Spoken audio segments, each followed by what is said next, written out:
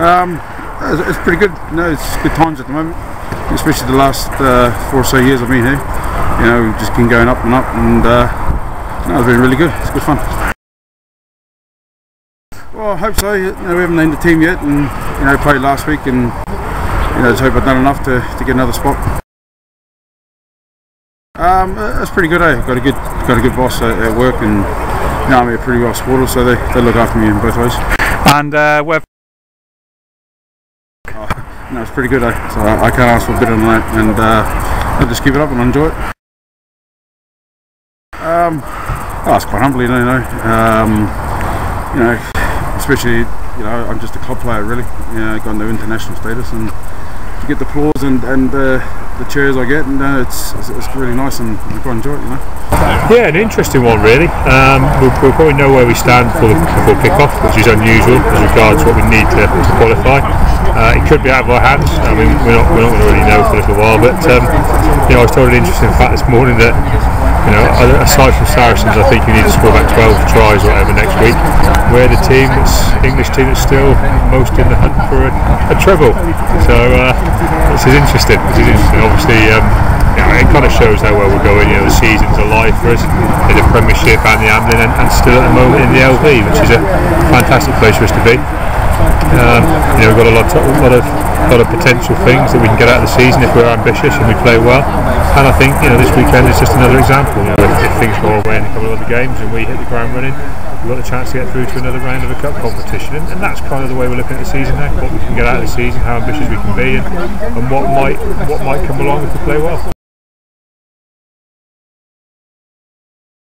Yeah, and I think I think that's probably what's fantastic about the LV League Cup and, and some of the rounds at the Amlin is that you get to have a good look at these guys.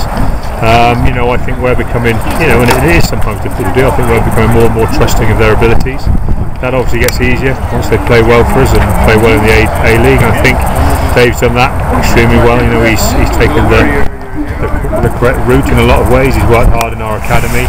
Um, you know, he's, he's, had some exceptional A League performances. He's uh, had a season, nearly a season at Pirates now, where he's, he's really bought into everything they're doing, um, getting plenty of regular game time at a high standard, and you can just see him, you know, coming on leaps and bounds, and you know, doing a big 80 minutes on Saturday. You know, he's done that in the Amlin fours in some of the rounds, and you know, hopefully he'll do it again this Saturday. And it, it just kind of shows the way he's developing. Uh, great to see Sam Hill getting starts and put in a big performance. You know, we've, we've known he's had real quality.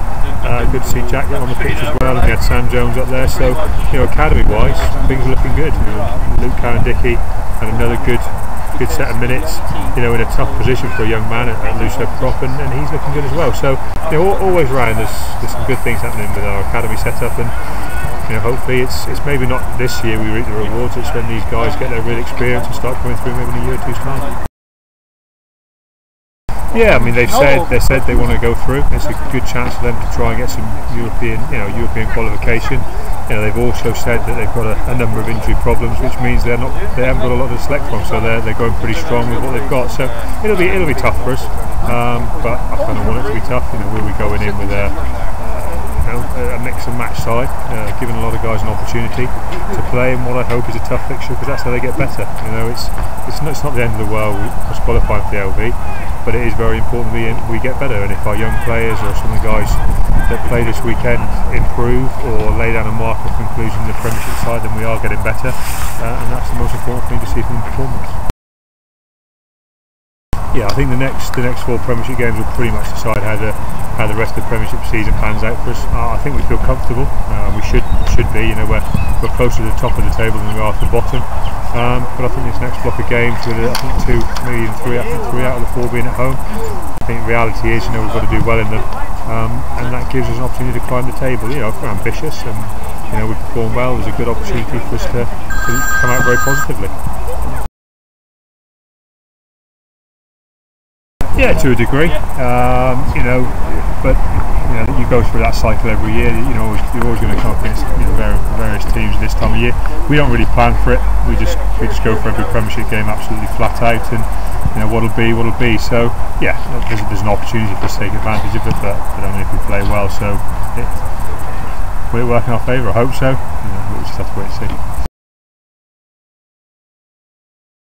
It'll be a difficult one. I mean, you know, the, the truth is, um, it's not the best time to come watch a game of rugby. You know, winter's Sunday afternoon at five o'clock with it with it live on telly. You know, but you know that that's the what you have to kind of deal with when you you know moving around with television schedules. So I, would just like to hope that uh, we get a decent crowd who want to come watch a good game of rugby. I mean, we're certainly going to attack the game. Um, you know, we've got to look to attack the game and win it. You know, we may even have to potentially try and get bonus points. So, you know, I think whatever happens is going to be a good game of rugby. Bath look like they're going to bring a strong side, which will be great for our supporters to come and watch. So, you know, just hopefully they can they'll come down and brave the cold and, and cheer us on and get the war drum the rum, war drums going and uh, we'll get a decent bit of chanting out here. But that, that's what we want to need to see really, just a nice bit of atmosphere uh, and something nice for our for our team to play for.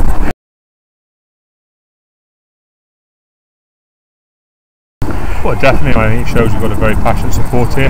Um, you know, and, and, I think they, you know, they, they really made their feelings clear about getting TJ onto the pitch a little bit earlier, which which would have been nice. You know, hope, hopefully they'll, um, you know, in the near future they'll get to uh, chant and cheer for a, a few more extra players in the England setup.